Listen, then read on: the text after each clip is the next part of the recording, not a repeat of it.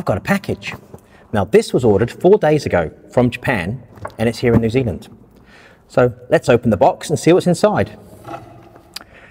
As always, my trusty meat cleaver. Oh, hang on, I better take out the documentation. Oh, two of them. Now I also have a camera up there and have a camera over there as well. So we'll try and get as many angles as possible. So actually I'll, I'll do it away from my face. Might be safer.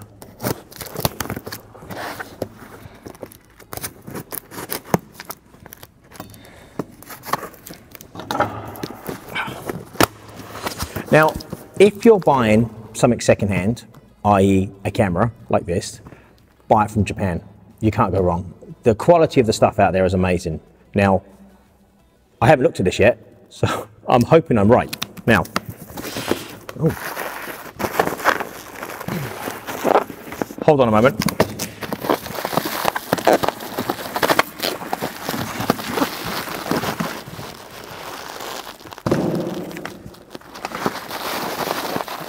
That is so well packed.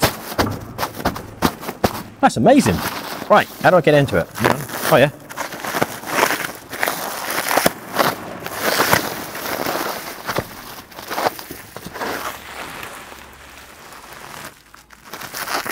Hang on.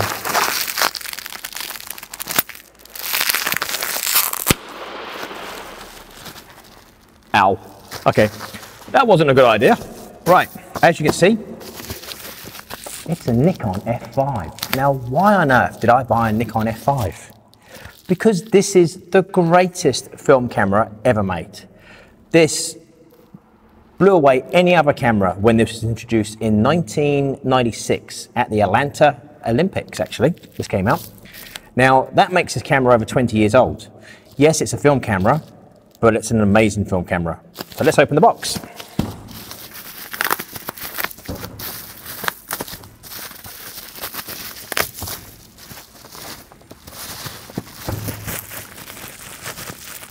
don't work. I've got broken bubble wrap. This particular camera is actually a 1998 model, so that makes it exactly 20 years old. So what have we got in the box? Okay, I have the manual.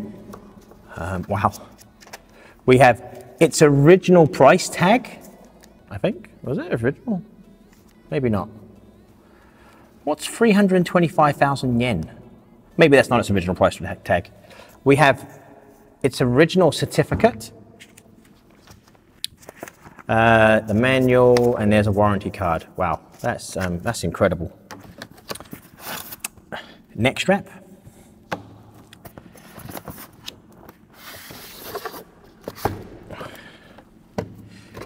Let's do the box up.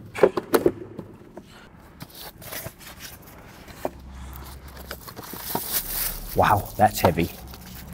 Put that there. Can't see it. And put that out of the way. Okay.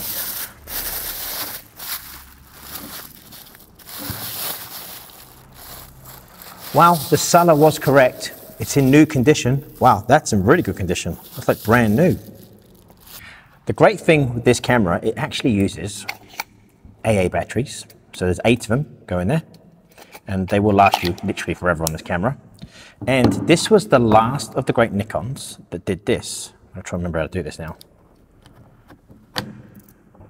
It came apart. The prisms came off. Now this prism is really clean actually. There's, there's no mold, no fungus in there. You do have to be careful with old Nikon cameras that sometimes these prisms actually get mold inside, but this is clean. The focusing screen is spotless as well. So that goes on and then lock in. So to open up the actual back of the camera, you flip that switch, pull that, and then bang, opens up. Look at that. It still has its original card inside. Do not touch, press, prick, or scratch the shutter curtain, as this may hamper its functions. Please remove the sheet before using the camera. And it even has on the front its original Nikon F5 body cap. So as I just showed you, the actual viewfinder is removable. You push in a pin at the back, pull it off, and there you go. And you can actually add different viewfinders on this. Now, this was the last of the Nikon cameras that could do this. After this, they stopped. You can get a sports AE viewfinder, and there was also a waist level viewfinder, and I think there was a magnifying viewfinder as well, which would magnify whatever you see. So again, these just go on. The nice thing with this, you can keep it clean.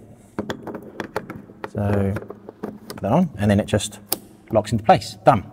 Now, another great thing with these cameras is especially the f4, the f5, and the f6, they work with these. All of the G series lenses, they all work perfectly with this autofocus and are amazing with this particular camera. That's why I've got it, because it has the grip. I like my vertical grips.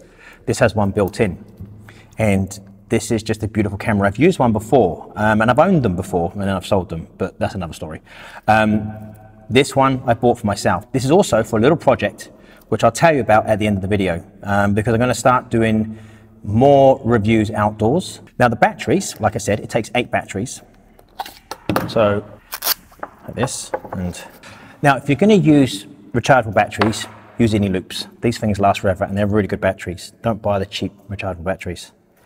So that one goes in there, and then we put that one in there. Takes eight batteries. If you want to get into film photography, the f5 is a great camera for that because it's basically like a digital camera. The matrixing on this, the autofocus, is all modern and it is really, really good. The other two cameras that I would recommend Nikon is the f100 and the f6. The f6 is still quite expensive at the moment. I paid $500 for this camera, which is relatively cheap. In that goes, like that. Okay, straight away. So we'll put on a lens. Let's put on the 105 1.4. When you turn the camera on, you can't flick the switch, you notice? Unlike most Nikons, just flick it. There's actually a button here, you push down, and then you turn it on. So you can't actually turn the camera on. That focus is really nice, and the screen is absolutely perfect. It's so bright and clear. I've got a good camera. And again, like I said, if you're going to buy a second-hand camera, if you can, buy it from Japan. Not going to say every camera from Japan is perfect, but you know most of the time you're going to get a good camera. And they're actually very, very helpful. If you get any problems with it, they return it. Most of the sellers on eBay are really good. The one person I would recommend, though, if he's got the camera you want, or if you're looking for a particular camera, is Bellamy Hunt, Japan Camera Hunter, or JCH, some people know him. I'll put a link to his website down below. Now, he has a lot of really good quality secondhand camera gear, and he's reliable, and you know to get quality. But if there's something you want, contact him, because he can always find it for you. That's why he's called Japan Camera Hunter. So we're going to put a roll of film in there now. Now, to put a roll of film in, it's quite easy. Again, you just flick the lever, pull that, and pop it open. Film. Ah, we're putting some Ilford. Why not?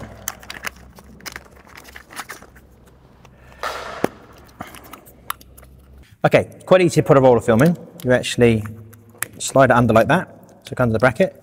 You pull that across, so it lines up like that with the teeth. Very easy. Close it. Now, we're going to shoot this at eight frames a second.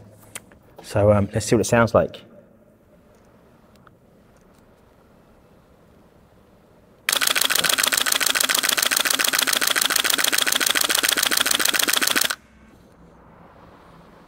Okay, that's it.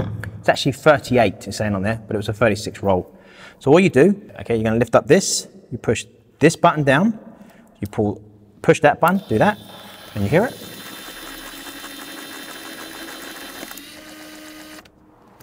Done.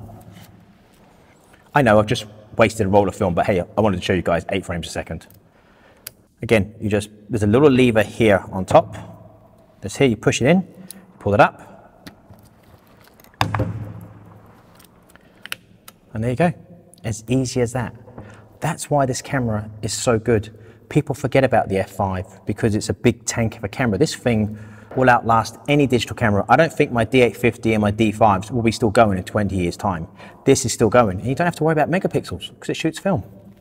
As I said earlier, there is a reason why I got the F5. Well, actually, there's several reasons. Um, part of the reason is this is brand new. It's never been used and it's a beautiful camera. Um, like I said, this is 20 years old. Now, the next video I'm going to be doing is actually a review video of two of my lenses, the 105 1.4 and the 58mm 1.4. Um, these are both portrait lenses and they're quite unique lenses with Nikon. Most people shoot an 85 or 50mm, but these are quite unique and I like the look from these lenses. So what I'm going to do, I'm going to put these two lenses up against each other um, in a portrait session. Not going to go out and shoot a brick wall or a tree or a Lego man. I'm actually going to shoot a real human being because that's what these lenses are designed for. And what I thought I would do is also shoot some black and white film. I'll shoot it on the D850, but I'll also shoot some film. So you can see what the quality of these lenses are with film. So that's the idea. So remember to subscribe because that video will be coming soon. But as always, thank you so much for watching this video and I'll see you again soon.